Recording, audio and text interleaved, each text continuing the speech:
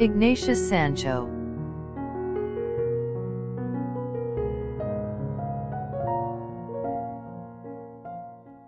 Ignatius Sancho, a British writer, composer, business owner, and abolitionist, was a former slave, who advocated for abolition, through prolific letter writing.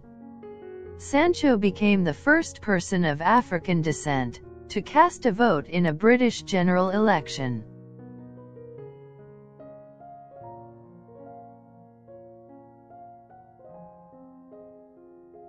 Born in Africa, around 1729, Ignatius Sancho was enslaved for the first five years of his life on the Caribbean island of Grenada, before he was taken to England as a toddler. There, he was forced to serve as a slave for three sisters in Greenwich, but eventually managed to run away and escape. He then gained employment with another aristocratic family, for whom he worked for the next two decades.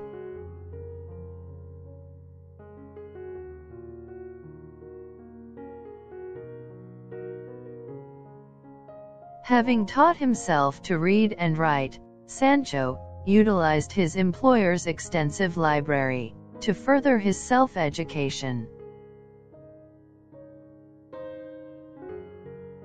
A skilled writer, Sancho penned a large volume of letters, many of which contained criticism of 18th-century politics and society.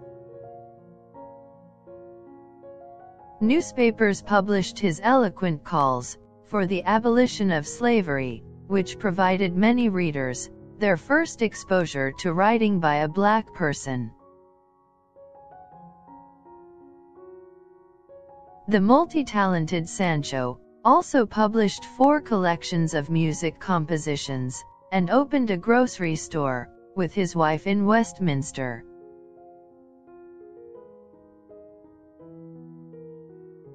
As a financially independent male homeowner, he was qualified to vote, a right he historically exercised in 1774.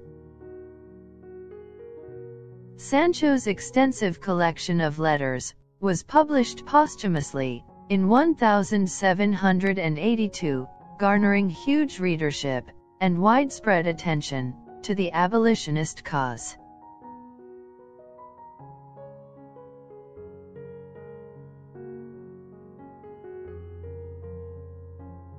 Thanks for watching. Subscribe to Footprints for more videos.